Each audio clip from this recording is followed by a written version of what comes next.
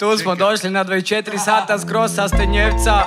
O, Sad mi peglaj malena, peglaj. je, je, je. Stenjevec u kući, pančevi vrući. Đerko i š, debilu mojne se kurči. Tva da, idemo, idemo, e.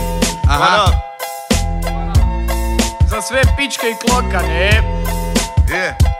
Pozdrav za svakog klokana kaj me u školi tužio Igru igram od malena, davno sam je skužio Vopsi gica, bum bum, gangsterica Stenjevec, peščenica, pogodak iz prvog hica. Slika i al bez blica da nam se ne vide lica. I pošalji mu to doma da se sjeti kaj je ulica. U svom životu nikad imao zvijezde vodilje Ritam dobre muzike kroz ovaj život vodi me. Zato će neki reći da sam skrenuo s pravog puta a Bura s pesu s ulice nekad iza luta.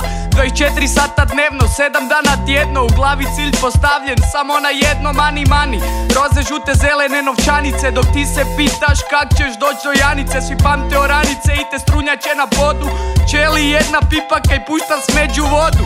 Ja sam Đerko, repam za slobodu. Pusti nisam neki Klokan džer na traci, mikrofon dobaci. Ubio konaci, prate me murjaci Treperi su mali džaci, fulali školovanje. Ak mi neka i vele, iće na bolovanje. U zadnje vrijeme igru trčim bez stajanja. Tišina pesi, reko sam dosta lajanja. Rakija i rep, teku mikrozvene Možeš me izvući iz kvarta, al ne mreš kvart iz mene. I aj nek mi neki mangu proba sjest na dug Ko loptu na fuci, šutirat ćemo ga u krug.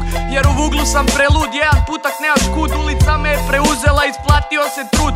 ZG Vice City za male Hello Kitty Ekipe ko pesi, mesa nikad city svi bi pančeve flow i dobar ritam Bura sve bu dobo, dob, lajne šnitam Nikad bio ganat, gdje je rasta farijanac Oko vrata zlatni lanac jer po krvi sam bosanac U duši purger, nisam zato cuger Volim popit vani pa zvaci Bolt i Luber. Kad vidim život u bloku odmah suza mi u oku.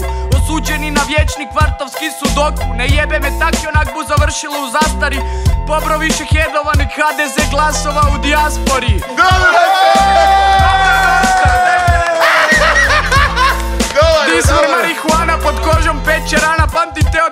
dana znam da prate me Pa ne okrećem ziv poka je bilo pičko davnih dana sam kliko Čekaju ih blokovi, čekaju da krivo skrenu Glupi kretenu, di ćeš kamenom na stijenu Danas ću komale miješat kolu i dingač Znaš di sam zadnja klupica il pingač What up?